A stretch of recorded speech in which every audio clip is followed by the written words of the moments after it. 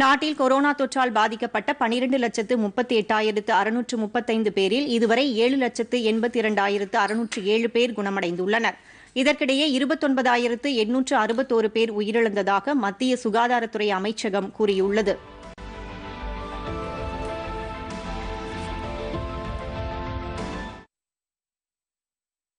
அதிகபட்சமாக மகாராஷ்டிரா மாநிலத்தில் மூன்று லட்சத்து முப்பத்தி ஏழாயிரத்து அறுநூற்று ஏழு பேர் பாதிக்கப்பட்டு பனிரெண்டாயிரத்து ஐநூற்று ஐம்பத்தாறு பேர் உயிரிழந்தனர். ஒரு லட்சத்து எண்பத்தி ஏழாயிரத்து எழுநூற்று அறுபத்தொன்பது பேர் குணமடைந்துள்ளனர். தலைநகர் தில்லியில் ஒரு லட்சத்து இருபத்தாறாயிரத்து முன்னூற்று இருபத்தி மூன்று பேர் பாதிக்கப்பட்டு மூன்றாயிரத்து எழுநூற்று பத்தொன்பது பேர் உயிரிழந்தனர். ஒரு லட்சத்து ஏழாயிரத்து அறுநூற்று ஐம்பது பேர் குணமடைந்துள்ளனர். குஜராத்தில் ஐம்பத்தோராயிரத்து முன்னூற்று தொன்னூற்றொன்பது பேர் பாதிக்கப்பட்டு இரண்டாயிரத்து இருநூற்று இருபத்தி நான்கு பேர் உயிரிழந்தனர். முப்பத்தி ஏழாயிரத்து இருநூற்று அறுபது பேர் குணமடைந்துள்ளனர்.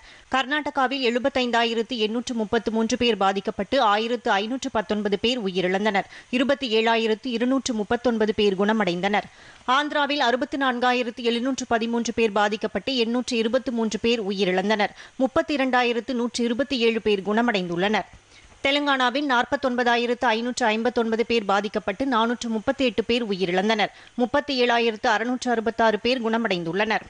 கேரளாவில் பதினைந்தாயிரத்து முப்பத்தி இரண்டு பேர் பாதிக்கப்பட்டு நாற்பத்தைந்து பேர் உயிரிழந்தனர். ஆறாயிரத்து நூற்று அறுபத்தி இரண்டு பேர் குணமடைந்துள்ளனர். தமிழகத்தில் இதுவரை இல்லாத அளவில் நேற்று ஒரே நாளில் ஆறாயிரத்து நானூற்று எழுபத்தி இரண்டு பேருக்கு கொரோனா தொற்று உறுதி செய்யப்பட்டுள்ளது.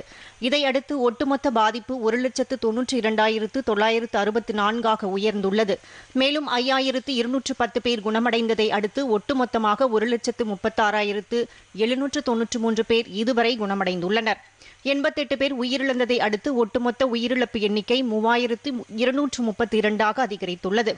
பொதிகை செய்திகளை யூடியூபில் தமிழ் நியூஸ் தூர்தர்ஷன் என்ற சேனலிலும் முகநூலில் டிடி பொதிகை நியூஸ் என்ற பக்கத்திலும் ட்விட்டரில் டிடி நியூஸ் சென்னை என்ற பக்கத்திலும் இன்ஸ்டாகிராமில் டிடி பொதிகை நியூஸ் என்ற பக்கத்திலும் காணலாம். மேலும் உங்கள் கருத்துக்களை Podhigai DD news at Gmail dot com என்ற மின் அஞ்சலில் தெரிவிக்கலாம்.